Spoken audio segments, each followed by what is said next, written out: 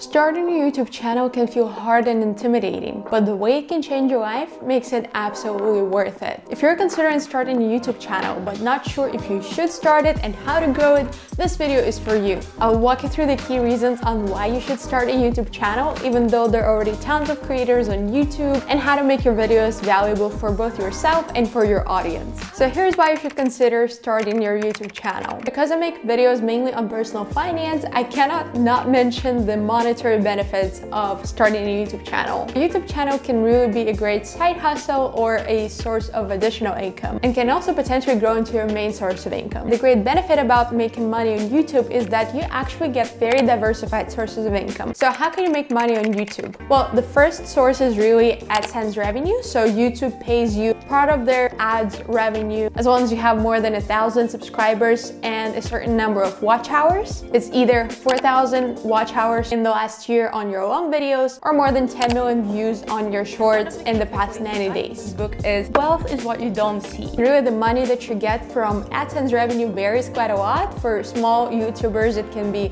100 to $100 a month, but some larger YouTubers actually get paid three or $4,000 a month just based on the ads that YouTube runs on their videos. So it's really a great relatively passive source of income because you get paid even for the videos that you made before, so let's say a few months or years ago, as long as they're still promoted by the YouTube algorithm. Another source of income can be brand partnerships. And the good thing is, again, you don't need to be a multi-million follower YouTuber to start getting partnerships. Even when I had about 500 followers on my YouTube channel, a couple of brands approached me and suggested potential partnerships. So that just goes to show that as long as you have your specific niche and focus niche and focus target audience, you don't need to have millions of followers to start making additional income. Another source of income is affiliate links. So often you can see YouTubers put in their video descriptions different links where you can either get a discount by using their links or they just promote some things on Amazon that you can buy as well that they like. YouTubers also make money of it or they take a certain percentage of revenue. So that's just another option for you to make some extra income. And also if you're considering really building it into a whole business and also sell different courses or different products, YouTube also is a great platform for you to do that because you have a very niche specific target audience. If they like you, if they like your content and they trust you,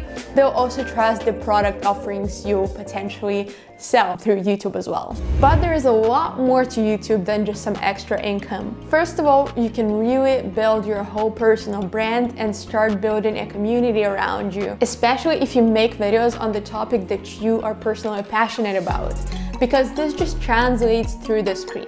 When you're really passionate about a certain topic and you're really excited to share what's on your mind, audience will really be able to connect with it and you'll be able to gradually grow this community, but also people will start associating certain things with your personal brand. Let's say if you make videos on personal finance like I do and somebody would want to learn more about the specific topic, let's say on how to start investing your money, they'll realize, oh, this YouTuber probably has a video on that, let me check it out.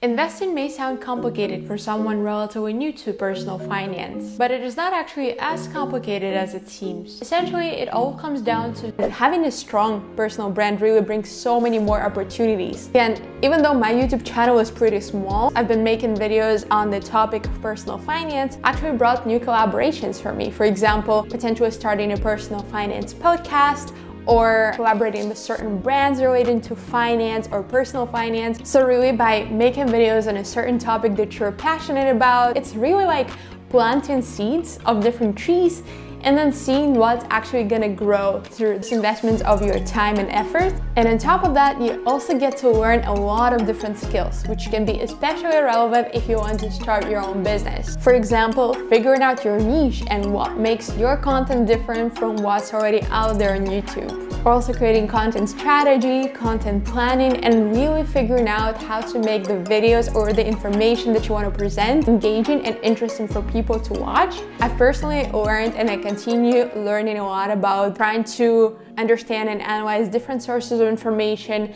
and then figure out how to present it in a concise and engaging way.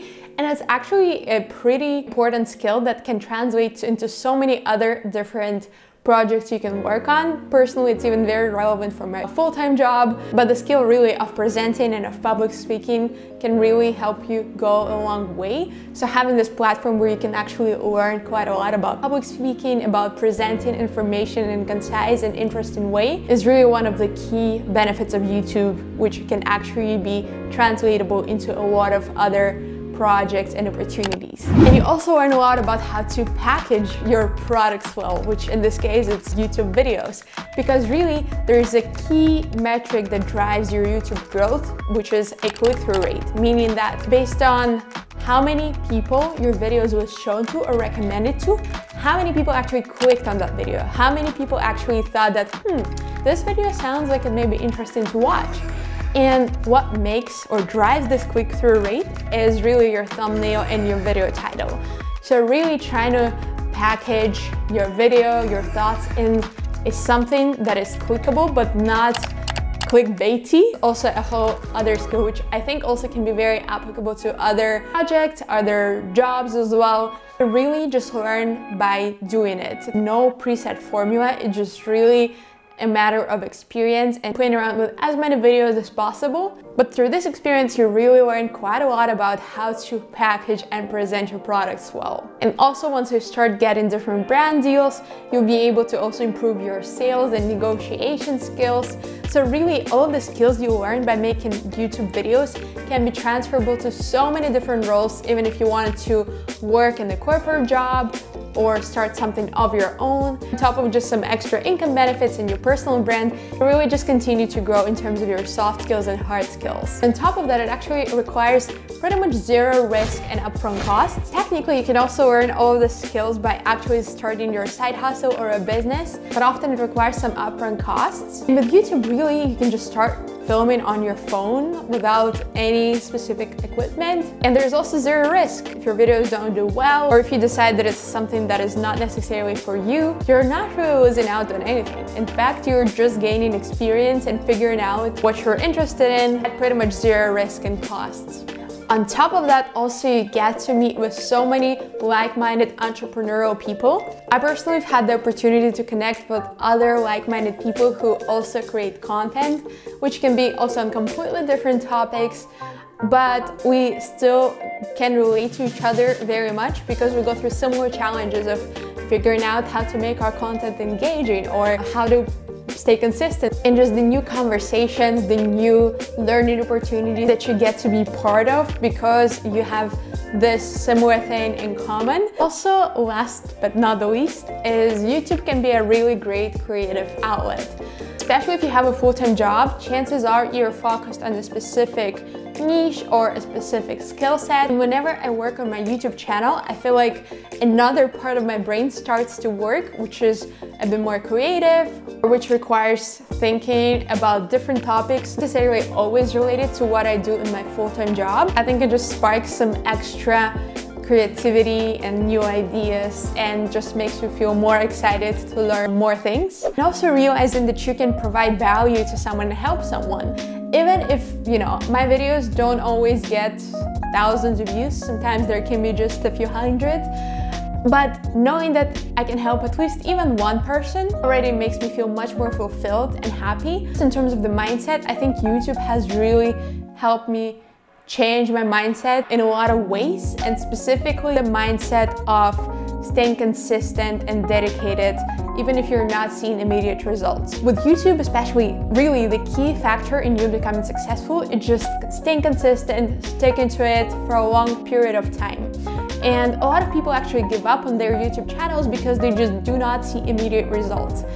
And I think this is so important to so many other areas of your life whether it is career, whether it is saving and investing, whether it is learning a new skill, we often want to see immediate results, but oftentimes to really get to the top, it really is just a matter of consistent micro steps. When you stick to this consistency and those micro steps and you look back and you also see the results from your past work and like uh, videos that you filmed a year ago, still bringing you new audience, new views, new engagement, you also see all of this work is paying off. So YouTube really has helped me change this mindset, which can be applicable to so many other different areas of my life and hopefully yours as well. But you may be asking yourself, aren't there already enough creators? Sure, there are already a lot of creators, but it doesn't mean that you cannot start. What's actually interesting is that out of all creators in YouTube, less than 10% have more than 1,000 subscribers, and less than 2% have more than 10,000 followers.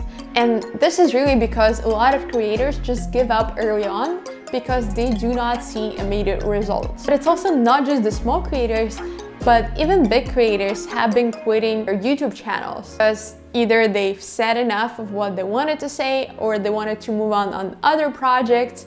So people also leave YouTube as much as people join YouTube. So there is always space for new creators who want to grow in YouTube. And also people follow creators not only because of the specific niche those YouTubers focus on, but also because of their personality. Tons and tons of creators who make videos on starting your business or on finance or on learning languages.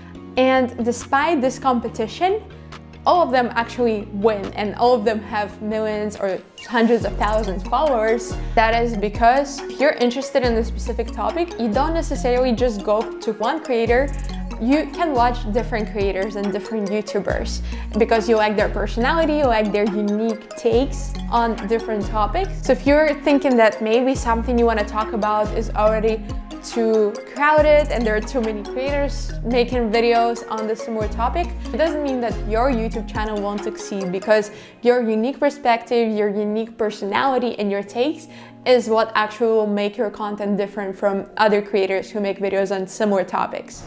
And this is especially relevant in the age of AI when now it's just so easy to even generate videos. You don't need to record anything yourself. You can just type it in the chat box and it will create a video for you to put out there on YouTube. But again, I think personalities and just being able to connect with your audience in a more personalized way is something that will actually help you grow and be different compared to what's out there on YouTube already. How do you actually start a YouTube channel? Here are my top favorite tips which I think are crucial for you to start and grow. The first one is finding your niche. What are you passionate about? What kind of videos do you personally like to watch? It's really important to figure out a topic you want to make a video on so that people understand your brand and what sort of topics or videos they should come to you for your own expertise. It doesn't mean that you cannot experiment and try new things. That's also very important and that brings me to another point, which is don't forget to experiment with different formats. For example, it can be just this talking heads like this video or vlogs or interviews or different charts. So formats are also very important. See if you make videos on personal finance, one of the subtopics can be saving or investing. Another subtopic can be a different side hustle or also different tricks and hacks on how to save more on traveling. So don't forget to experiment with that as well. In terms of formats, actually, it's really important also to leverage shorts in 2024 because now they just get way wider reach compared to long videos. If long videos, when you're just starting out, you can get maybe hundreds, thousands of views. Let's say for your first video, if you were to get 100 views on your long video, your short can actually start getting from thousands of views very early on. So it's a great way to reach new people and use them also as your marketing tool for your channel. Also, consistency is very important for the YouTube algorithm. Ideally, you would want to post long videos weekly and shorts once a week or ideally even more often. I've tried it for quite a bit of time. To be honest, I did feel burned out quite a bit a few months in, especially combining it with a full-time job and also other responsibilities and things I have. So now my goal is making long videos every two weeks, but also putting out shorts more often, at least once or twice a week. But again, it is really important to stay consistent with your YouTube channel. You just have to find a sweet spot that will work both for the algorithm and for you. The last and most important tip is just start. You know, it's easy to start overthinking which camera should I use, which microphone, which editing software. You know, maybe I still need to do a bit more research on my niche. But this kind of overthinking just keeps putting your start date later and later date. You can just easily start recording with your phone if you just sit in front of some window or good lighting conditions, you should be good to start. You really don't need much to get started on YouTube.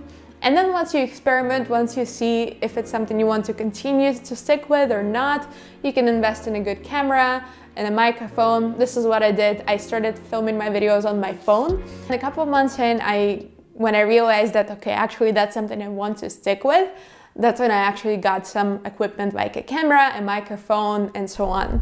So that's pretty much it. Thank you so much for watching this video. And if you're considering starting something on the side, not necessarily a YouTube channel, but something that will be bringing you in some additional income, you can also check out this video link here where I talk about different side hustle ideas and how to get started with them. And thank you so much for watching this video and I'll see you in the next one.